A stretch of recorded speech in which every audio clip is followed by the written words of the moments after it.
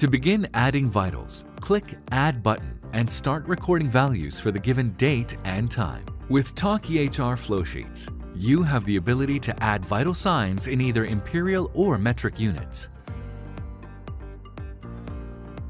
Type in the values for the vitals and press the Tab key to go to the next vital. For certain vitals, you will need to provide additional details such as measurement site, body position, source, or character by selecting values from the drop-down menu.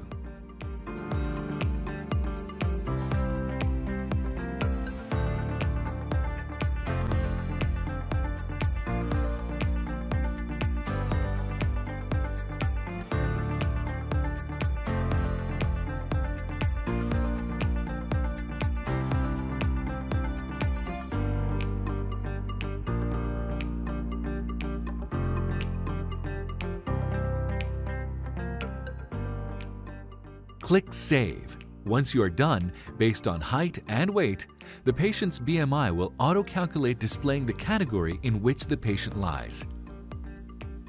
Add multiple vitals to a single encounter or review and edit vitals from previous encounters.